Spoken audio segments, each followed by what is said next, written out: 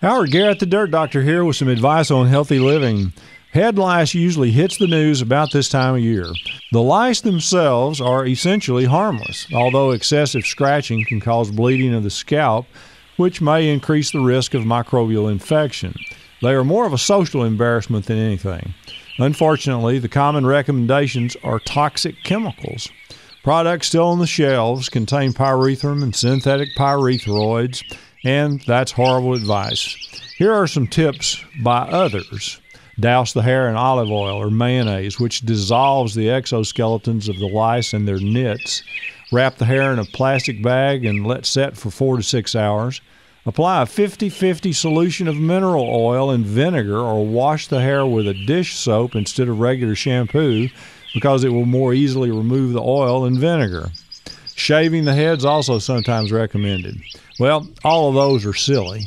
My recommendation to eliminate head lice and head lice nits, shower and clean with herbal soap such as tea tree oil shampoo, and then rinse the hair with full strength vinegar while the problem exists.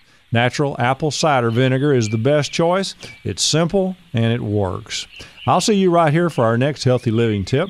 For questions in the meantime or to join the Organic Club of America, Visit dirtdoctor.com or our Facebook page for help. Go organic and enjoy your healthy gardens.